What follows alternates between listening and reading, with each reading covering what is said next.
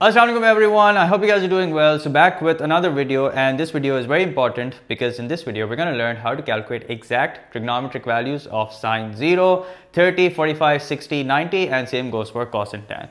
Now, the reason why this is important is because this is something that has been recently added in the syllabus and it's been added in the Cambridge Math as well as the Add Math syllabus.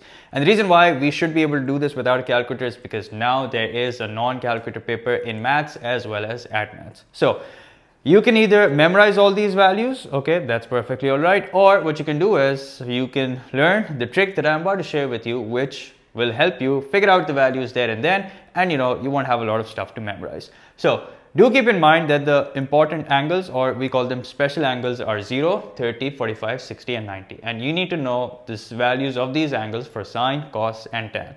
So the trick is as follows.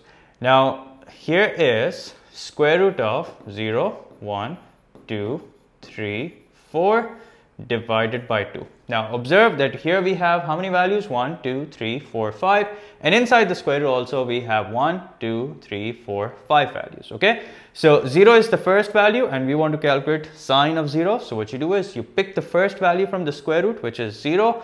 You take the square root of it and you divide by 2. Now what's square root 0? We all know that's 0. 0 divided by 2 is also something we all know that is 0. So there you go. Sine 0 is 0. Simple as that. Then 30 is the second value. So we pick the second value from the square root. We take the square root of it. So that's square root 1 divided by 2. And what's square root 1? That's 1. 1 divided by 2 is what sine 30 is. And you know, keep your calculator with you. Keep checking the values and let me know if I'm wrong. Now 45 is the third value. So I'm sure you guys figured out the pattern by now. We pick the third value, take the square root of it. So root 2 upon 2. That's it. That remains root 2 upon 2. And you need to know the exact value. So that's why we're not going to write it in decimal because it's practically impossible to write this in decimal without a calculator. For 60, we pick the fourth value, which is 3. So root 3 upon 2, and we can't simplify this. So that's it. That's your answer. For 90, which is the last value, we pick the last value of this inside the square root. That's 4. So root 4 upon 2. Root 4 is 2. 2 upon 2 is 1. So there you go. That's the value of sine 90. Now, what do we do for cos? This is where it gets interesting.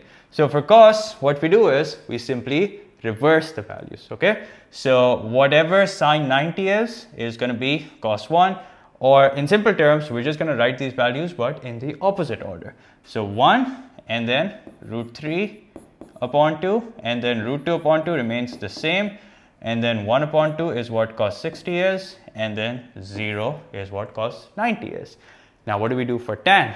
Now, for those of you who know trigonometric identities, you should know that tan is basically equal to sine upon cos. If you don't, nothing to worry about. All you got to do is divide the value of sine with the value of cos of the corresponding value. So, for example, tan 0, we'll take the value of sine 0 divided by cos 0. So, that's 0 upon 1, which is equal to 0. Then 1 upon 2 divided by root 3 upon 2. So 1 upon 2 divided by root 3 upon 2. 2 and 2 cancel and the answer is 1 upon root 3 which if you rationalize you can also write it as, so let me write this neatly first. So if you rationalize this you can also write this as root 3 upon 3. Okay, so that's a concept. That's another concept by the way which has been added recently. I'll make a video on it soon but yeah you can do that. Now root uh, for tan 45 we take the value of sine 45 divided by the value of cos 45 they're both exactly the same as you can see. Therefore the answer will be 1 for tan 60 we take the value of sine 60 that's root 3 upon 2 divided by the value of cos 60 that's 1 upon 2 2 and 2 cancel. And the answer is root 3 and there's no need to write this as some other value. This is good enough. Then for tan 90, what do we do for that? For tan 90, we do 1 divided by 0. Now what's 1 divided by 0? Not 0 if that's what you were thinking. 1 divided by 0. In fact, anything divided by 0 is infinity. Your calculator gives you a math error, which basically means infinity. So here we say infinity. Okay, I can think I can do a better job at that. Yeah, there you go. So tan 90 is infinity. And that's it. That's the end of this video. And this is how you can memorize exact trigonometric values. I hope this helped. And if it did, do leave a like and make sure to share this video with your friends classmates, and whoever you think could possibly benefit from it. And if you haven't subscribed to the channel, make sure to do so. So I'll see you guys in the next video. Until then, take care. Bye-bye.